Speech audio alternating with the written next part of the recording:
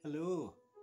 Uh, welcome to our Tuesday edition of Morning Inspiration. Our again, this is part 2 of our topic, uh, mental health, ano po, na sinimulan natin kahapon and we will continue. Uh, our main verse for for this continuation about the topic of mental health will be found in Philippians chapter 4 verse 6 to 7. Be not anxious about anything, but in every situation, by prayer and petition with thanksgiving, present your request to God. Ano? So we have also another one from Matthew chapter 6 verse 25 to 26. Therefore I tell you, do not worry about your life what you will eat or drink, or about your body, what you will wear. Is not life more than food, and the body more than clothes? Look at the birds of the air. They do not sow or reap or store away in barns, and yet your heavenly Father feeds them. Are you not much more valuable than they? And the last one po natin, uh, sa 1 Peter chapter 5 verse 7, Cast all your anxiety on Him because He cares for you. Yan po. Yan po ang ating uh, morning Bible verses uh, concerning our topic.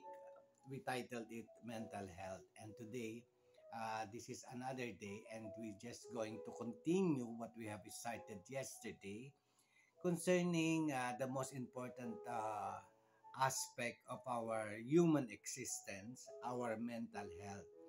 Alam po naman natin that we could not function to the best of our ability if there are some uh, mental uh, illnesses that we have. And it is very prevalent, katulad nga po ng sinabi natin kahapon, nowadays in our society, uh, there are a lot of mental illness that we that we are experiencing, especially with the current uh, uh, generation no po. And so uh, it is very important that we to have to discuss these matters to be able to know to know uh, what we could do. So again let me uh, refresh you with our uh,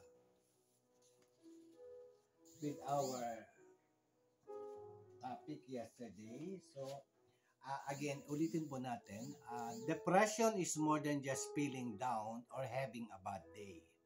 Po. And uh, when a sad mood lasts for long time and inter- interferes with formal, normal, everyday functioning, you may be depressed. Yan po yung uh, uh, definition natin ng ng uh, depression Uh, okay, so let us again renew our minds of what we have discussed yesterday. These are the the symptoms of depression that includes no po feeling sad and anxious often often or all the time. Not wanting to do activities that used to be fun. Feeling irritable easily frustrated or restless. Having trouble falling asleep and staying asleep waking up too early or sleeping too much, eating more or less than usual, or having no appetite, experiencing aches, pains, headaches, or stomach problems that do not improve with treatment. No po. Having trouble concentrating, remembering details, or making decisions. Feeling tired even after sleeping well. Feeling guilty, guilty, worthless, or helpless And the last one, thinking about suicide or hurting ourselves. No po. What causes po yung depression natin, uh, especially with uh, the demanding world that we have today? It's not easy to live no po, nowadays. No po. With uh, so many offerings that uh, this world is, is giving and feeding us, no po, ang dami na pong uh, reason why people are suffering from depression and anxieties. So what are the causes of depression? Uh, number one po, have having blood relatives who had depression. So, so, uh, so ibig po sabihin, parang somehow namala po na may merong relative na with uh, uh, depression na or anxiety with them. Number two po, experiencing traumatic or stressful event no po, sa buhay po natin and we cannot manage to understand or comprehend about no po. So it is traumatic or stressful event. It could be physical or sexual abuse, no po, or the death of a loved one, no po, uh, or or financial problem, no po. Uh, pwede din pong separa- uh, separation, no po, uh, bullying, work-related issues, marital separation, divorces, failures in life, too much expectation, worldly pleasure, meaning money, fame, and success. No po? Uh, ito po yung ibang mga reason why we got we have going through a lot of depression nowadays. Going through a major life change, even it was planned. O um, meron din po ditong mga pagbabago sa ating buhay like yung bata pa tayo tapos we're turning into a matured uh, uh, young adult, then adult, no po yung mga changes po, yung demand ng changes ng stages of growth ng ating mga kabataan, sometimes it brings too much challenge for them uh, emotionally and mentally. And somehow they cannot uh, able to cope up with the changing stages of their lives to po. And and uh, iyon po, nagkaroon po ng depression sa, uh, sa having medical problems such as cancer, stroke, or chronic pain, whoever's in the family, or even uh, ourselves sometimes when we, we know that we have medical issues, especially uh, cancer or diabetic or stroke or chronic pains, it gives us a lot of hopelessness and we lost our appetite to live. And uh, the, the longer we think of our sickness, the more it uh, it eats our energy and the more na nagsasuffer po tayo. So, with all those situations, it helps no uh, to bring causes of depression over our lives. No po.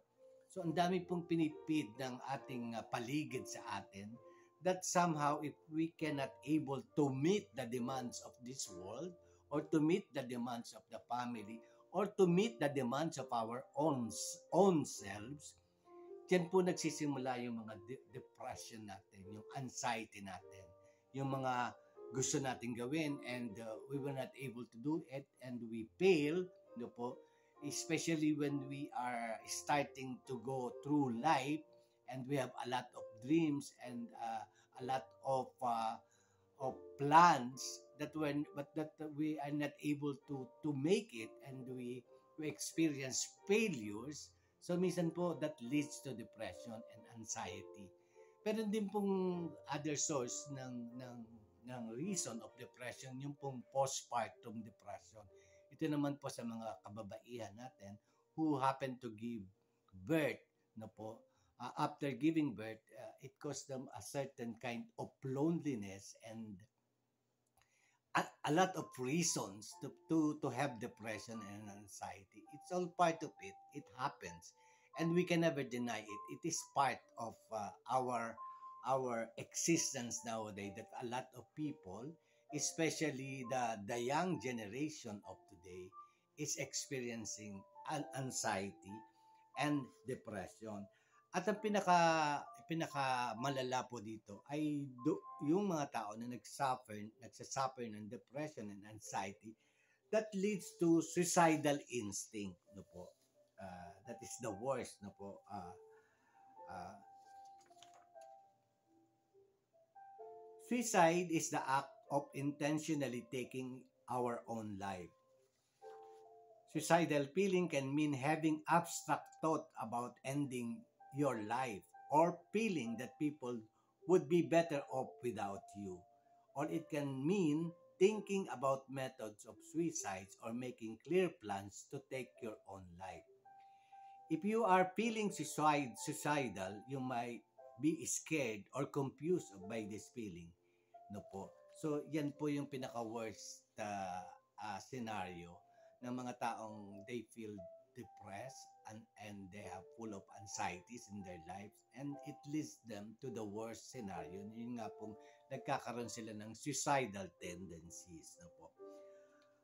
Uh, what do you think pa, uh, what do you think and when, what you feel if, if, if those kind of suicidal tendencies is happening in your life? Ito po, ito po yun. Hopeless, like there is no point in living tearful and overwhelmed by negative thoughts, unbearable pain that you can imagine ending, useless, not wanted or needed by others, desperate, as if you have no other choice, like everyone would be better off without you, cut off from your body or physically numb, fascinated by death. No po, yun po yung sabi. No po. And you may be, if you have this suicidal instinct, you may be experiencing some of this.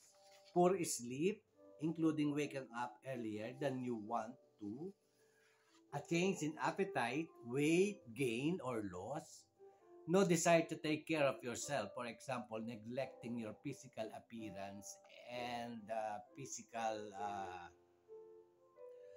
uh, yung pong paliligo, yung, yung taking good care, yung ating personal uh, taking care of ourselves, the hygiene, personal hygiene, wanting to avoid others, being uh, lonely or being separated from others.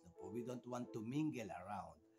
Making a will or giving away possession, struggling to communicate, self-looting or self low self-esteem, urge to self-harm. Minsan po sinasaktan natin yung ating sarili. No po, pagka po tayo ay merong mga experiences na katulad ng binanggit natin, that is uh, a sign of suicidal instinct. At yung mga sinabi po natin that you may think or feel, you have suicidal instinct. No po. So what do we do? Of course, when anxiety, uh, depression comes in, especially the worst scenario is you have suicidal instinct. First and foremost, accept it. Po. Accept po natin yan that it is happening and it is true that there that this scenario that this medical condition is very urgent and it needs medical attention all at once na po. So we have to seek a psychotherapy uh, session. We find uh, uh, a, a psychiatrist to handle our day-to-day activities to help us on our day-to-day activities. Uh, that's the psychiatrist will going to make a plan and, and talk with you concerning the reason why we have anxieties. And they will find the, the main root or the main cause of it. So we have to seek medical help at once. No?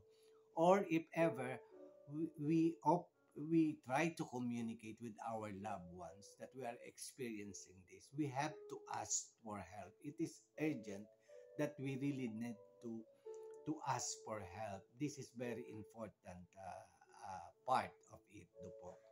We, first, we have to accept it for ourselves that we are suffering from depression and anxieties and uh, suicidal instinct. And then, first and foremost, we ask help first. We tell it to everybody. We communicate our deepest thoughts and fears to other to our loved ones, especially to our family. And then with the help of the family, you will try to get medical attentions, no po, uh, having therapy, therapeutic session with the psychiatrist and they will plan. And they will give us medicine to be able to, to, to come out victoriously over, over these kinds of phenomena which is uh, very, uh, very prevalent and common nowadays. And it taking a lot of uh, a lot of uh, uh, social media concerns no po? Kasi yun nga po very prevalent. You may want to understand what you're going through but you might might feel unable to to sell to tell someone unsure of who to tell to concerned that they won't understand fearful of being judged worried you'll upset them. So if we are feeling this and we can and we don't want to discuss it with with, with our loved ones because of the reason that we have uh, stated you could find supporting uh, supporting groups or activities no po supporting groups that uh, uh, that is also many now nowadays uh, supporting health mental uh, illness problems in the Philippines or in any in any part of the world we could get all those uh, help no but the first and foremost we have to accept the fact that we are suffering from depression and anxiety and even the worst scenario is having the thought of uh, suicide that is suicidal instinct or harming ourselves so uh, life is full of challenges no po. Life is full of challenges and uh, most of the uh, most of uh, the people who are suffering with these mental issues no po like depression anxiety and suicidal instinct no po I because they they cannot handle it anymore.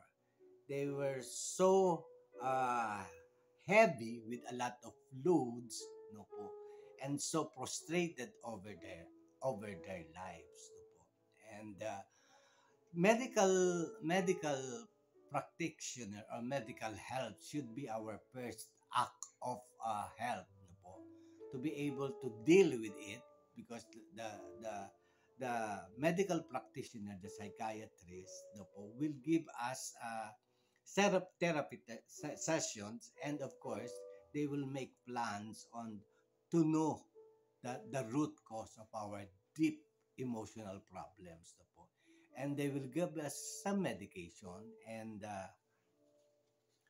and that we could take to be able to ease our feelings for a certain period of time no po.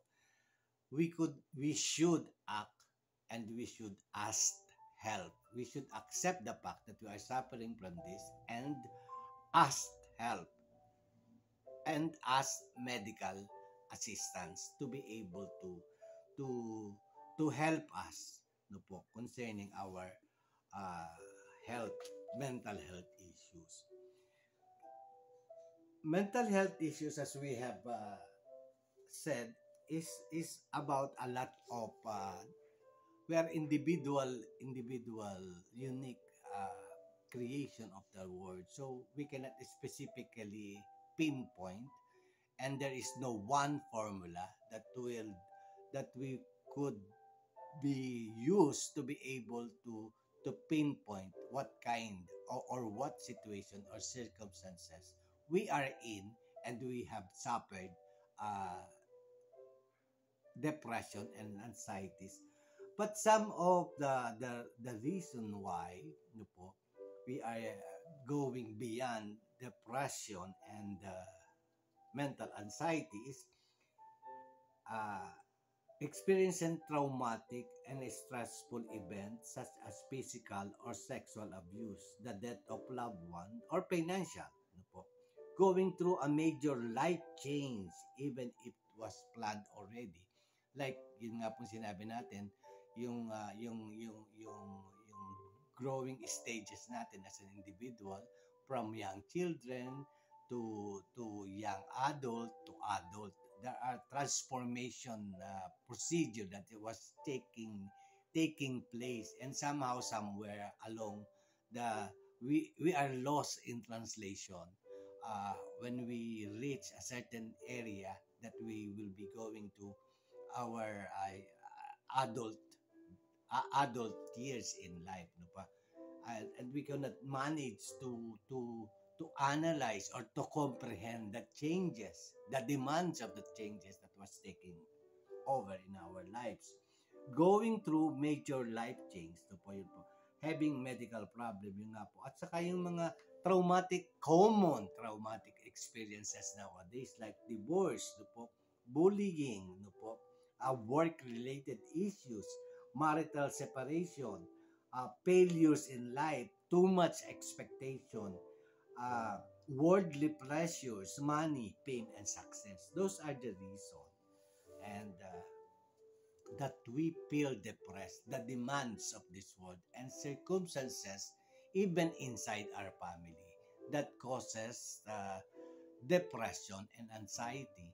No po? Kaya we have to to to be aware no po, what kind of life we are leading to.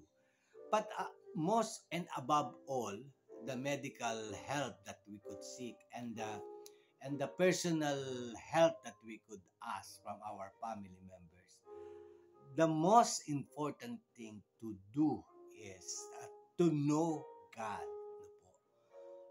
Since we are talking about issues over our life that we cannot handle, it is very important for us to have that that relationship with the Lord, no po, with the Lord Jesus Christ. The the medicine could help us, the medical practitioner could help us.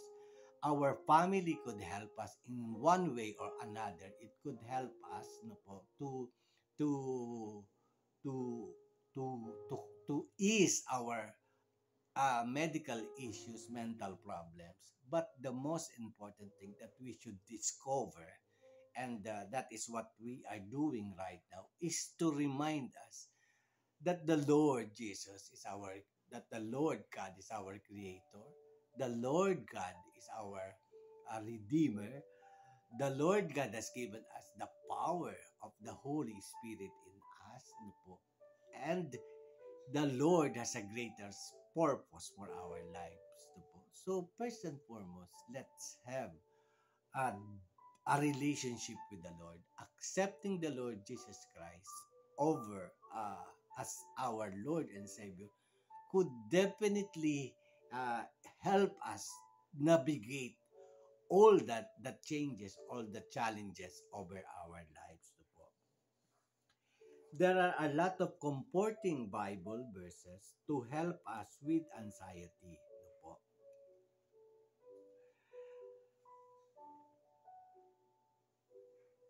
There are Bible verses that encourage us through our difficulties. Those major difficulties are with anxiety, depression, and suicidal thoughts. There are Bible verses about mental healing and have become our saving grace. No po? So sa sabi nga po sa Psalms, cast your case, cares on the Lord and He will sustain you. He will never let the righteous be shaken. The Bible verse for depression calls for anyone dealing with depression to talk to God about them talking to God will give you indescribable comfort that will allow you to leave the weight of those burdens with God. After that conversation, the Holy Spirit will be with you to provide continuous comfort. All you have to do is to call out to the Holy Spirit. As God, as God children, He does not want us to upset or to lack confidence in this walk of life. God did not design us to worry or fear, but made us in His image to be full of strength and hope. So, ito nga po yung sinabi sabi natin. The medical practitioners, our family could help us na po solving our causes of depression and anxiety and the worst, uh, yung pong uh, suicidal instinct natin. By, by, by going into the Lord, no po, coming and casting our cares to the Lord. And He will go in, going to sustain us. Sa pangako po ng Panginoon sa atin no po, I will never leave you nor forsake you. Yan po. And we, if we are having uh, some sort of depression towards life and uh, and and hope the and all the fears and the challenges of life if we have that great relationship and deep faith in God, sabi niya po, uh, cast your cares on the Lord and He will sustain you. The Lord has planned over our lives and depression and anxiety is not part of it. The Lord wants us to be, uh, to, to bless us with proper health and mental conditions that could uh, that could be provided by the Lord upon the changing courses of our life, upon the challenges and the problems and trials that we are facing towards our life. It is important that we know the Lord as our personal Savior and Lord and the fact that He created us, that He, Jesus, redeemed us from our sins, and He give us the power of the Holy Spirit that is working in us. Remember po, we have the Holy Spirit in us, and that is the Spirit of the Lord, the Holy Spirit. And during the time of our anxiety and depression, the Holy Spirit will work on us to be able to pass through the different challenges of our life because we have the power of the Lord, we have the power of the Holy Spirit within us. So, uh, medical practitioners and uh, medication, taking the right medication to help us, and the family members, family loved ones, the po, will help us. But above all this help, God could help us more than all these people that we depend to. We should have a right relationship with the Lord. Sabi po sa Isaiah 49 verse uh, chapter 49 13 5 Shout for joy you heavens rejoice you earth burst into song you fountains for the Lord comfort his people and will have compa- compassion on his afflicted ones. But Zion said, The Lord has forsaken me, the Lord has forgotten me. Can a mother forget the baby at her breast and have no compassion on the child he was born? Though she may forget, I will not forget. Forget you, sabi po ng. The Word of God calls for anyone dealing with depression to remember that the Lord cares for His children. God will, will be present to show mercy upon those who may come to a place where they think He has abandoned them and forgotten about them. Knowing He will always come to remove the burden, His children on earth and in the heavenly realms should rejoice and be glad. God is not like a man or woman who will forget to show unconditional love for their own flesh and blood. These scriptures for depression will remind you that God is the one who will never leave you nor forsake you in any situation that brings you distress. So sabi po dito, yung ating mga mahal sa buhay can can help us, but it is the Lord po, who could who could uh, who could be with us and take us away that brings us distress and depression over our lives. Po. So yan po. Sa John 14 naman po, verse 1, Do not let your heart be troubled. You believe in God, believe also in me. Written above is one of the many Bible verses for depression that is full of God assurance for His children when feeling of self-doubt and sadness and sadness creep into our minds. As believers in Christ, we have to trust God has miraculous intention set for us. Remove all the trouble from not only your minds, but your heart as well. Remember, since you put your trust in God, put your trust in Jesus even more. Trust that Jesus will fill you with unshakable joy and gladness. So, uh, the Lord has promised that uh, before ascending to heaven, He promised that my peace I leave to you. My peace I give to you. So, if we have that relationship with God, we could always have that peace and mind, peace of mind, and even in the darkest situation of our life, the challenging moment of our life, uh, we could not lose our hope and faith and the peace of God will always give us, will be always with us, that surpasses all understanding. The peace of the Lord and the, uh, the, the, the, the, biggest uh, glorifying presence of God in our life could bring us peace and joy. Even the moment of trials and sadness and hopelessness is taking place. It will be replaced by the Lord and the distress moment our, of our life will be lifted by God and it will be changed with with lots of hope and confidence. So the Lord could be our main source of uh, uh, deliverance from depression, anxieties. No po. Yan po. Uh, ganyan din po sa Deuteronomy chapter 31 verse 8. The Lord himself goes before you and will be with you. He will never leave you nor forsake you. Do not be afraid. Do not be discouraged. One of the reason of uh, depressions and anxiety is our discouragement towards details of our everyday life, towards the circumstances we are having or we are experiencing brought about by the many uh, many aspect of our entire being no? And when being fear no po and being afraid and being discouraged to face to face life many challenges. It is now we are being uh, we are being deceived by by the devil no po. We are being any fears no po any any uh, sense of being afraid and the sense of being discouraged is work of the devil no po but the lord goes before us and you and he will be with us. He will never leave us nor forsake us.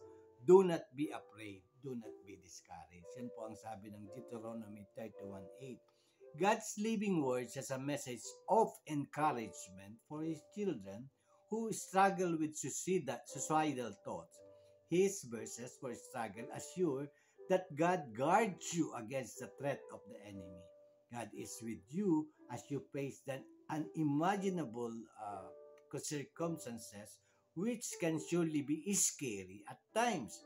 The Bible verse suicide tells us that the fear that comes does not to have to intimidate you because he is not going to let you down to the point where you feel so discouraged to end it all. When you are at a point when you feel that no one else understands, God will be with you every step of the way. Do not give in to the darkness because He is your guide to, to get to the light. So sabi po that, sabi po dito, do not give to the darkness thoughts of hurting or the darkness areas of discouragement and, and, and anxiety or even suicidal thoughts, those, those are lies of the devil. We should be assured and we should be encouragement that even we face struggle in our life, God is with us. I still remember, sabi po doon sa sa isang podcast natin, uh, yung mga the Jew during the the years of being uh, into captivity under the Babylonian Empire, ang sabi po 70 years nagsuffer ang the, ang mga Jews an, sa slavery ng Babylonian Empire na po. And they live uh, pros, uh, normal as possible. That is the instruction of the Lord. To live as normal as possible despite of the many hardship of the Remember, they were uh, in a foreign country, driven by the Babylonian Empire. And they were being uh, under the, the colonial empire for 70 years. But the promise of God prosperity, despite of all the hardship that they have to face, is to live a normal life, to prosper despite of all the hardship for 70 years. And this is a message for us having difficulties in our life. Whatever difficulties in, in, in our life, we just believe that God has a purpose even on the most trying moment of our lives, even on the most challenging moment there is a purpose. It is not, this is not planned, this is happening, the challenges in our life is not happening to harm us or to give us failures of our life but it has an eternal value that the Lord with the with the with the presence of the Holy Spirit in our life is is teaching us more. It is not destroying us, but our experiences of challenges in life is serving the purpose of God, is being used by the Lord to be able to to to give glory and honor to him and to help us in all our challenges over trials and moments in life so we just have to to to to let the Lord and be assured that the Lord will be with us before you nauuna po ang ating Panginoon in every challenges of our life. Nauuna siya po. And when we come into the point of the challenges of life, He is with there providing a way for it. So we don't lose hope. We don't get discouraged. We don't have to fear. We don't have to be afraid. That is the causes of depression and anxiety. We have to go on with it with great and confidence that the Lord will be with us. Our faith in the Lord will save us to a lot of depression and anxieties over our lives. Sa Jeremiah 29:11 naman po, For I know the plans I have for you, declares the Lord, plans to prosper you and not to harm you, plans to give you hope and a future. You see, this is very powerful message in Jeremiah 29:11 po. Just believe that the Lord has a plan over our lives. There is a major plan. There is a purpose for this for this plan. So one of the areas and one of the the, the symptoms of being depressed and we have the depression and anxiety and sometimes the worst suicidal instinct that we have is we lost the meaning of life to live one of the reason why there is no purpose on this life but if we just get away from ourselves because we don't know actually what will happen into our life. But when we depend upon the Lord and we have a, di- a deeper relationship with the Lord, the Lord has a master plan for our life. So if we just uh, put our confidence in the Lord to the Lord, even we are losing our point of reason or purpose to live, but the Lord has a purpose over our life, a greater purpose over our life, and those are with eternal values. The Lord knows what is going on in our lives, and there is a purpose for our lives. And when we follow the purpose of our life, that will lead us to eternal life. But if we succumb to the darkness and to the devil spirit of discouraging us, of of of of of uh, filling up with a lot of fears and up and afraid over life in this world, then we will not be going into the presence of the Lord after this life. There is no purpose fulfilling the desire of this world, but there is a purpose, a greater purpose that the Lord will provide for us, and He has already uh, design that that that eternal purpose over our lives. So we could not lose our senses if we have that deep relationship with the lord. We could not lose we could not be able to lose the meaning of life if we know that the lord has a greater purpose and putting a greater value over our lives because those are with eternal purpose that's do not do let us not be deceived no po, by the devil. No po. The text of God holds a promise for any of God's children who feel like they want to cause harm to themselves. A promise of declaration from the Lord to take care of you. God has made a declaration with these Bible verses for health and that He knows exactly what to do for your life. This means His plans are designed for your life story as one of the many Bible verses on the on suicide, the word has every intention of taking you on a path where he will always be with you because he does not want any type of harm to come your way from anyone or anything. God shall ensure you, you flourish in the future. So our our purpose in life when we focus it on ourselves and uh, when we focus onto the Lord somehow those purpose will will lose its meaning somehow uh, achieving the purpose and the dreams of our life based on on this world and our on our own thoughts would lead would lead us to failures some, somehow.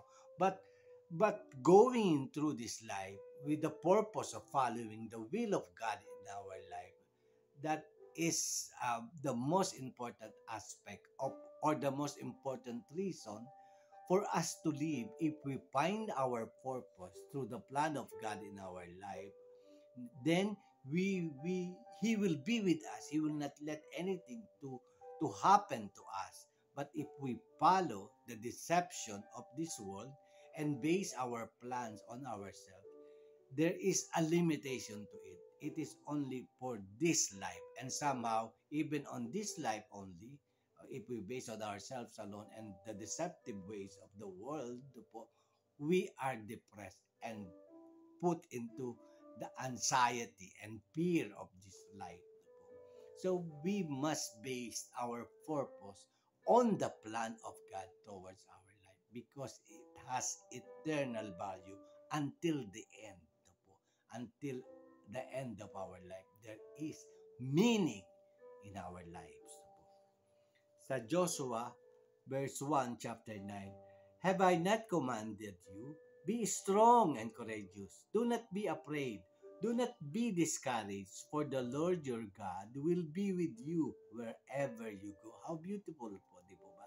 Sa Joshua chapter 1 verse 9 For anyone who is contemplating a disastrous act against themselves know that this is not what God has set out for you. God has called you to have strength and courage as you walk into the in the world. More most importantly, He has commanded that you walk in this earth realm without fear. As another one of the many Bible verses for suicide, there is no uncertainty with God of the universe. There is no uncertainty with God of the universe, but there is uncertainty and a lot of fears and discouragement when we depend upon this world or our own plan over ourselves. But with God, there is no uncertainty, always full of confidence, always know where we are going if we follow the will and the purpose of God over our life in this world. God, the God you know personally and vice versa, is taking every step you take right along with you. That means whatever you face, God faces and He will command you to overcome it, which make this one of several great Bible verses for mental breakdown. Again, ulitin po natin to sa Joshua chapter 1 verse 9. Have I not commanded you? Be strong and courageous. Do not be afraid Do not be discouraged, for the Lord your God will be with you wherever you go. Yan po. Uh, we will be we will not be feeling alone in this life. And one of the reason why we are discouraged, no, and we we build up the emotion of anxiety and to the point of uh, uh, suicidal instinct over our life is that we feel alone. Isa, isa po sa reason ng, ng, ng why we have depression. We feel alone. We feel that we are that we are alone in the journey of our lives. That we feel alone in the challenges, in facing the challenges of our life. But with God, no po, uh, it is the opposite. When we have faith in God, when we have relationship with God, we are always assured that we will never be alone. He will never leave us nor forsake us. Yun po. Uh, yan po, no po. And more verses to come. Uh, okay po. Yun po yung mga Bible verses that we have uh, uh, researched to be able to help us with all our anxiety and depression over our lives number one reason we don't have to to to carry the weight of our lives we offer it unto the Lord we bring it into the pit and into the throne of God po, and let Him carry every burden. Sabi po ng ng ng ating Panginoon, uh, those who are heavenly laden, come to me and I will give you rest. Meaning po, we could always come into the presence of the Lord and offer all our all, our heaviness and our cross of our of our problems and trials in life. We always said it in the morning pa lamang po. There are a lot of concerns that will that we find it very challenging to face the po, to be able to win the day. And it will happen daily. But the point of our, of the matter is that we should never be uh, feeling alone. If we have God, if we have confidence and trust in God and faith in God, we will never feel alone. He alone, we, He will always be with us, guiding us, pro- protecting us, and providing us. And the light of God will shine in our life, not darkness. That this, that this world is opening. Now may the Lord peace himself give you peace at all time in every day. The Lord be with you. When it comes to the mental issues of anxiety, depression, or suicidal thoughts, the Lord our God will bless you with merciful gift of peace. He is the one who will ensure that peace is in your mind and heart all the days of your life. In every imaginable uh, or unimaginable way possible. Having this type of promise, this means we should not worry or trouble. Therefore, as, chil- as children of God and the saved and saved through Christ, we are able to count on God in every uh, in every situation in ourselves today, in our life today. So, yan po mga kaibigan. So, the mental issues over our life, depression, anxiety, and suicidal thoughts are, are a deception. No po? A deception from the devil. Every bad thoughts, every everything that is uh, to to put us on a negative aspect of life and to look at on fears, uh, being afraid, being discouraged, being hopeless, it is all from the devil, no, or from this world. But with the Lord, with our faith and our relationship with the Lord, it could answer all our mental issues over our life. Our medical practitioner, our uh, medical treatment, taking medical or, or, or whatever prescription that our psychiatrist uh, could give you is help is a help po is a help and we should take that and the the the support of the family and your close friends is very important but first and foremost the the the only one who could uh, take away those mental illness in our in our life is to have a deeper relationship with the Lord and knowing His plan over our lives, believing that He owns us, believing that He will do everything because He gave Himself for us to redeem us for, for our sins no, of the world.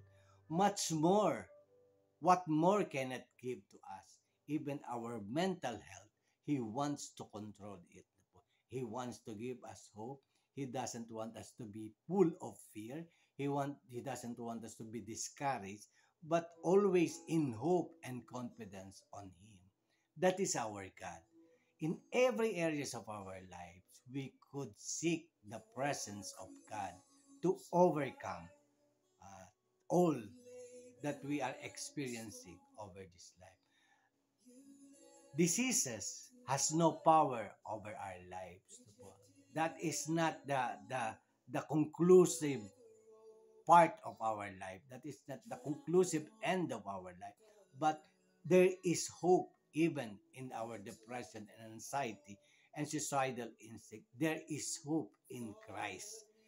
There is uh, there is a winning moment a morning to shine over our mental issues in life if we keep on having that kind of faith and relationship over God and confidence on the promises of God that we could live, that we could read on the Bible.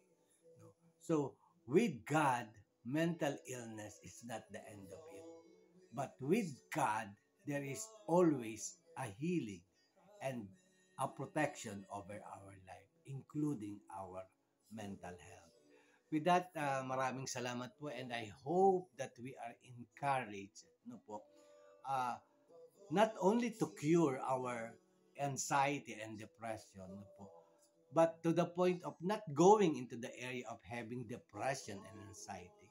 We could come into the presence of the Lord and we could face our battles in life no po, and let us not experience and let us not experience depression and anxiety because we are full of confidence that the Lord will gonna see us through our life. Let us not be discouraged and let us keep hoping in the magnificent power of our Lord Jesus Christ. Marami pong salamat and uh, happy Tuesday morning. God bless po. Thank you.